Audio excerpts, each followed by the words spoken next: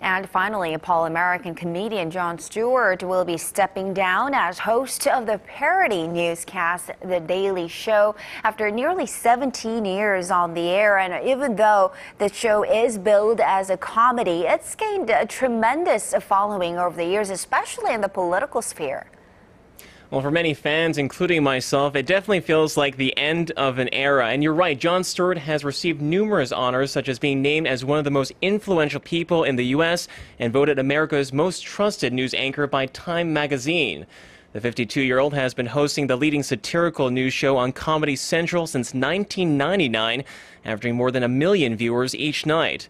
Stewart is known for fearlessly lampooning public figures, high profile politicians, and media outlets over the years, which earned him the reputation as a top news source for young people. In a statement, Comedy Central President Michele Ganeless praised the show as a cultural touchstone for millions and a platform for political comedy that will endure for years to come. Charity? Mm-mm, the show will be missed. All right, thank you very much for those stories, and we will see you again in just about two hours.